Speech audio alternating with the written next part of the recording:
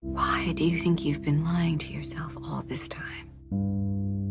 Because the truth is so much harder to face. I brought this upon myself. How's about that for starters?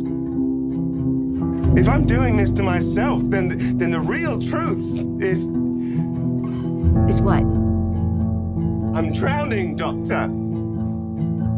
And I can't stop asking myself, why do I hate myself so much?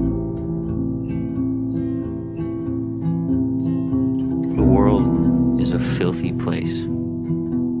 There's so much pain, you know? There's so much.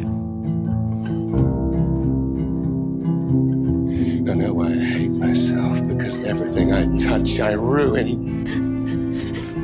You need to forgive yourself. I can't. I don't know how to. I don't even know where to begin. I have to go back.